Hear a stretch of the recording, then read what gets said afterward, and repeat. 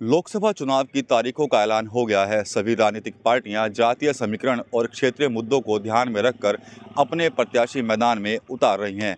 आज हम आपको पश्चिमी उत्तर प्रदेश की सबसे hot seat, Kairana Lok Sabha seat के बारे में बताने जा रहे हैं, जहाँ पर 19 अप्रैल को पहले चरण में मतदान होना है।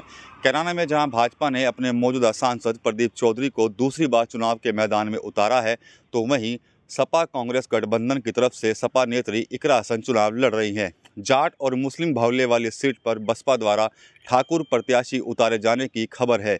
कुछ दिन पहले कुछ मुद्दों को लेकर ठाकुर और गुज्जर समाज के बीच हुए मतभेदों को बसपा भुनाने की तैयारी में जुटी है। माना जा रहा है कि स्थानीय स्तर पर भाजपा से नाराज़ ठाकुर समुदाय के लोगों को साधने के लिए बसपा कैराना सीट से श्रीपाल राणा को उतारकर ठाकुर दलित गठजोड़ बना सकती है, जिसका सीधा नुकसान इंडिया गठबंधन की प्रत्याशी इकरा हसन को हो सकता है, क्योंकि भाजपा से नाराज़ चल रहे ठाकुर समाज के लोग श्रीपाल राणा के चुनावी मैदान में उतरने के बाद इकरा हसन का साथ छोड़कर बसपा की तरफ़ डाइवर्ट हो सकते हैं।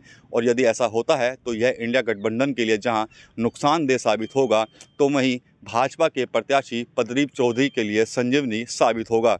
कैराना लोकसभा में 16 लाख बानवे हज़ार मतदाता हैं, जिनमें साढ़े ग्यारह लाख के आसपास हिंदू और करीब पौने छः लाख मुस्लिम मतदाता हैं। इस लोकसभा पर मुस्लिम दलित और जाट गुज्जर मतदाता निर्णायक भूमिका में रहते आए हैं।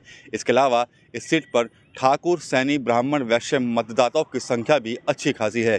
कैरन लोकसभा पर 19 अप्रैल को यही मतदाता अपने अपने प्रत्याशियों का भविष्य तय करेंगे, जिसका नतीजा 4 जून को देखने को मिलेगा। टीवी नाइन यूपी के लिए सहारनपुर से विकास कपिल।